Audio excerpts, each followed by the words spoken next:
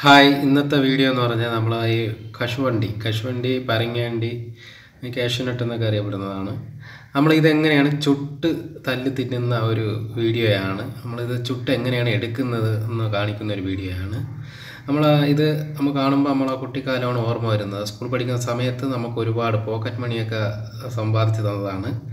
അപ്പോൾ തയ്യാറായി കഴിക്കുന്നത് നോക്കാം.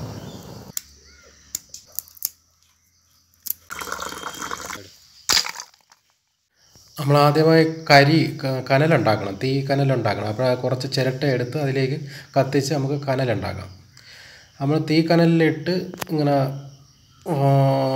വർക്ക് കണക്ക് നമ്മൾ തീ കനൽ ആദ്യം ഉണ്ടാക്കിയ ശേഷം അതിലേക്ക് പറങ്ങണ്ടിയിട്ട് നമുക്ക് വറുത്തെടുക്കുന്ന രീതിയിൽ നമുക്ക് ഇത് എടുത്തെടുക്കാം. ഇത് ഇപ്പോൾ തീയൊക്കെ കത്തിക്കണ ഒരു പാടേ ഉള്ളൂ. നമ്മൾ വന്നു കഴിഞ്ഞാൽ പെട്ടെന്ന് തന്നെ തയ്യാറാവും. നമുക്ക് ഈ ചിരട്ട എല്ലാം കൂടെ നമുക്ക് നല്ലതുപോലെ കത്തിച്ചെടുക്കാം. ആദ്യം നമ്മൾ ഈ ചിരട്ട കനലിൽ ഉണ്ടാക്കിയെടുക്കണം. അപ്പോൾ നമുക്ക് എന്തെങ്കിലും ഓയിൽ ഒഴിച്ചു കൊടുക്കാം. മണ്ണെണ്ണ ഒന്നും ഒഴിച്ചു കൊടുക്കരുത്. നമ്മൾ ഈ വേസ്റ്റ് ഓയിൽ കുക്കിംഗ് ഓയിൽ എന്തെങ്കിലും ഒഴിച്ച് കത്തിക്കാം. നമ്മൾ തീ ചിരട്ടയിൽ നല്ലതുപോലെ പിടിച്ച് കനലാകുന്നത് വരെ നമുക്ക് നല്ലതുപോലെ തീ ഇട്ട് കൊടുക്കാം. തീയിട്ട് നമ്മൾ ഈ കനലൊക്കെ നല്ലപോലെ ആയി വന്നതിന് ശേഷം കനലിലാണ് നമ്മൾ പരങ്ങേണ്ടി ഇട്ടതിന് ശേഷം നമുക്ക് വറുത്തെടുക്കുന്ന കണക്ക് ഇതിനെ ഒന്ന് പാകപ്പെടുത്തിയെടുക്കാം. നമ്മളെ ചിരട്ടയൊക്കെ കത്തി കനലാകുന്നവരെ നമുക്കൊന്ന് വെയിറ്റ് ചെയ്യാം. അപ്പോൾ തീയൊക്കെ കത്തി വരുന്നുണ്ട്. അപ്പോഴങ്ങനെ അങ്ങനെ ചിരട്ടക്കനലൊക്കെ തയ്യാറായിട്ടുണ്ട്. നമുക്ക് ഇതിലേക്ക് പരങ്ങേണ്ടി ഇട്ട് കൊടുക്കാം. ഇതുപോലെ നമുക്ക് മീതിയിൽ നിരത്തി ഇട്ട് കൊടുക്കാം.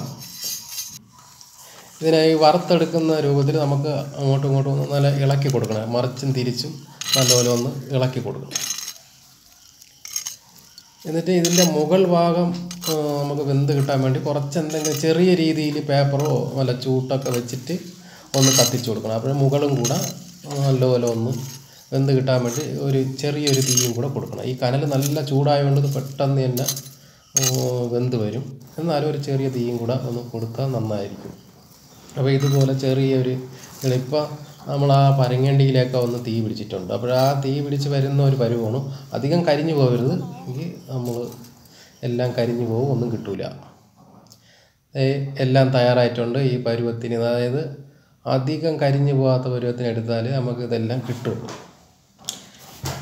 നമുക്ക് ഒരെണ്ണത്ത് തല്ലി നോക്കാം. അത് കേടായി പോകുമോ നല്ലതാണോ എന്ന് നമുക്കൊന്ന് നോക്കാം.